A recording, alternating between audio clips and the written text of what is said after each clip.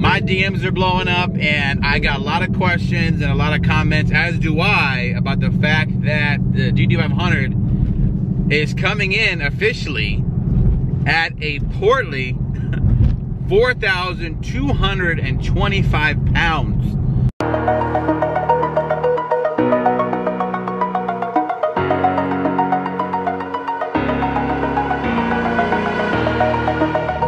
Is up, famo? This message finds you all well and in great spirits. Well, well, well. I had another video actually scheduled and uploaded, but we had to talk about this because my DMs are blowing up and I got a lot of questions and a lot of comments, as do I, about the fact that the GT500 is coming in officially at a portly 4,225 pounds on the scale. Uh, that is quite heavier than some of us had anticipated. Before I go into why it's heavier or, or heavier than we thought it'd be, first let me get my fan reaction out the way, and then I'll get into some of the logistics of why it's not as bad as you think and the plan going forward when we get the car. Uh, number one, we can no longer, unfortunately, make fun of our Mopar friends because the Mustang is getting pretty heavy. Uh, the 2018 Mustang I'm in now uh, is 3,825 pounds, and we've always kind of kept that little dirty secret away that we, oh yeah, you know, it's a little rate reduction, and you know, I take out the seats, I do certain things to get to 3650 uh, racing weight, the drag strip, uh, but you know, 3825 is what this car that I'm in weighs, and you know, that's pretty heavy considering uh, you know you're getting closer to the you're closer to 4,000 pounds. Now the GT500 is officially 4225, which is very close to the Dodge Demon. That's right. The Dodge Demon is at I believe 4280. So what we got to do is let me just double check here my good old Google and the demon is four yeah 4280 pounds is the dodge demon so we're not we can't make the boat jokes. I don't know. This stinks. I love I love the boat jokes. Like that's the fan in me. You know, my, my first reaction is darn, I love making fun of my Mopar buddies with the boat jokes and the anchors and the ships and the cruise ships. But uh, you know, for right now, they have the uh, they have the upper hand because that's pretty that's pretty heavy. But uh, I had a chance to kind of uh, check in with a lot of good sources. A lot, of, a great source, by the way. I'll put a link down below. Is Evan Smith. He is a OG, amazing journalist in the Mustang game, and I actually talked to him for about an hour this morning. And uh, he's starting a YouTube channel. Very good source, very knowledgeable source. So check him out. Link down below to his channel, and we got a chance to chit chat. So we'll be doing some collaborate collaborations going forward when we get to different events. Uh, but he told me these, you know, that uh, it's true. Uh, that is on the official brochure. But he gave me some insight that I'm sharing with you, and also, you know, what kind of my personal plan is uh, going forward with this new news. You know, this this this is 44,225 pounds. Now, that's not even talking about me. You, you throw my behind in there, you're well over 4,500 pounds and trying to get to this car down this. Now, the demon has done it. You know, the Challenger Hellcat Red Eye has done it. You know, they, they go down the strip. What's peculiar to me is the car is, is marketed not only as a drag strip car, but also as a uh, track car. And us just going to the roll Racing event and going on the track at Pocono Raceway, you know, I guess they're trying to do both. And, you know, we'll see how that goes. But, you know, I'm a little disappointed. I'll be 100% honest with you. I, I wish, I was hoping even if it was little, if even if it weighed less than the Camaro ZL1, that would have been good. I believe the ZL1 uh, comes in at about 4,100, maybe. Correct me if I'm wrong. Uh, the one, uh, I think it's the 1LE comes at 4,100. But you know, most of these muscle cars uh, that uh, are from the factory that have superchargers, like the Dodge Charger, Dodge Challenger Hellcat, Camaro ZL, uh, ZL1 and now the Mustang GT500, they're all going to weigh over 4,000 pounds. It is just the reality Uh, you know, don't we can't uh, even talk dare dare we talk about the Corvette because that's a whole different. That's a two-seater, true sports car that weighs you know 32 to 3600 pounds. That's out the door. We're not talking about that. That's mid-engine now. But you know, just the, person to me, it's kind of it's it's it's a it's a big number. It's portly. Uh, now, like I said, I was talking to Evan. I was, I was talking to some contacts at Ford, and basically, this is the the reality, right, guys? The car is going to be heavier because of uh, three major factors is what I've kind of narrowed it down to. And first, we got to start first and foremost is because they had to cool the car. Well over 850 gross. So it's a substantial uplift from the 526 horsepower of the GT350. Okay, so we've got six coolers on this, six heat ex exchangers. Uh, we've actually got an auxiliary uh, water uh, radiator for the engine on the left side, and then we've got the oil cooler on the right side, and we've got a stack of coolers throughout. The car uh, is being touted as being able to maintain its horsepower and all all power through all ranges through a session.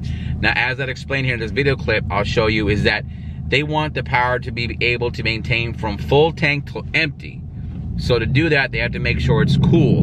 So what does that mean? It means more radiator, more cooling. So there, that adds to the 400 pounds over this GT and the GT500. Then what you have to talk about is also the all new, brand new seven speed dual clutch transmission. Really special part of this car, the dual clutch transmission. This is our and solution.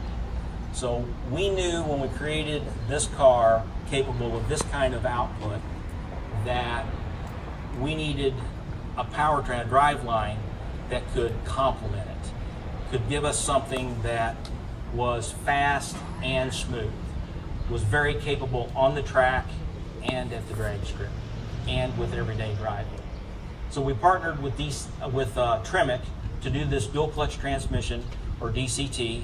It's a wet dual clutch setup. It's got seven forward gears. It's the first dual clutch. That again adds to the weight.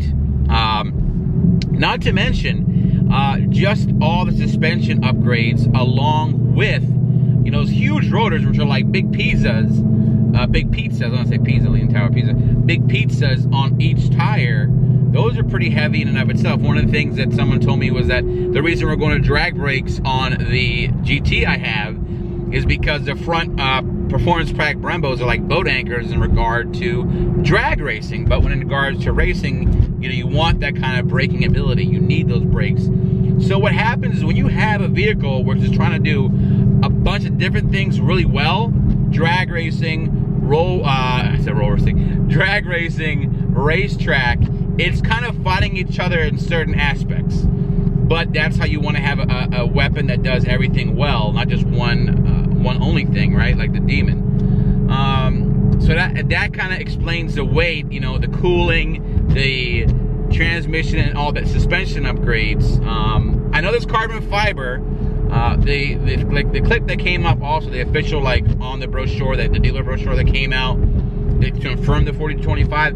I don't know if that's the weight with the carbon fiber package, if that makes it any lighter or not compared to the base. Uh, well, that remains to be seen. You know, off the top of my head, you know, I know I saved a couple hundred pounds almost just from my own rate reduction stuff.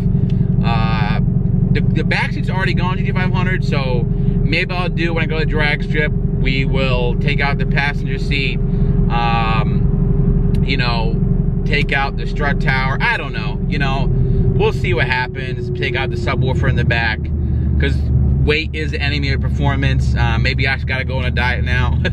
so you know, the reality is I, I'm disappointed, but I understand. But I'm not. I'm not discouraged. That number, the numbers, from a fan perspective, uh, you know, from a fan perspective, the numbers haven't. I haven't been able to be blown away. You know, I haven't been able to trust me, I want to fly the flag. I want to fly the flag and I want to, you know, talk to my buddies at the strip and, you know, really get amped up and geeked up. But it just hasn't been, I haven't been able to really just be as braggadocious with my claims here. You know, 760 is awesome, uh, but it's not, you know, 840 or 797.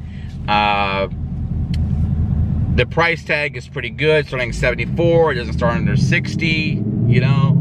And now the weight. So like these kind of things are like there's body blows. It's like ah man, it's not as powerful. Oh, it's a little pricier. Ah, you know. Now it's heavy. So, but the faithful, we are the faithful.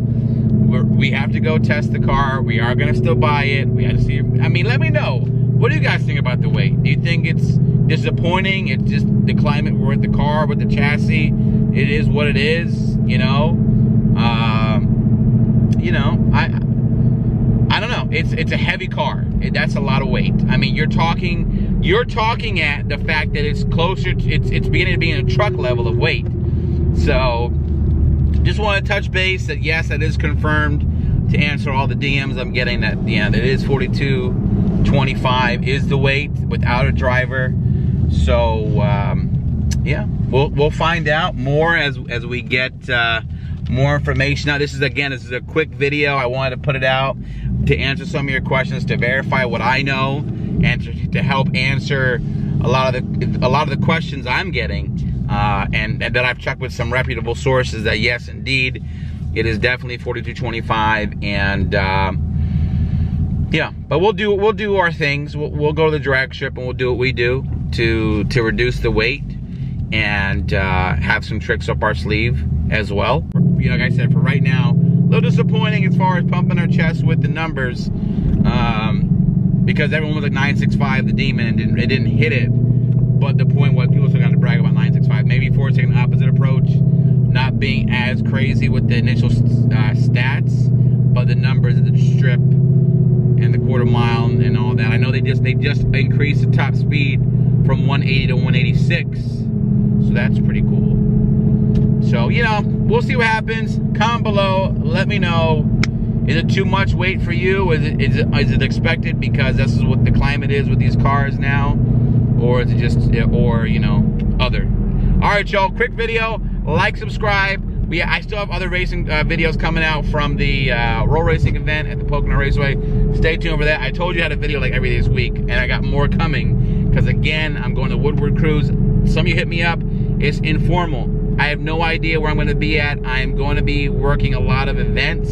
So I'm basically just stay, stay locked into my Instagram and my YouTube if you want to just get up, say what's up, chit chat, and uh, love to say hello to you. All right, y'all. Appreciate the support. Please, I don't do this, but I do. I need to do more often, is what I'm told by a lot of people.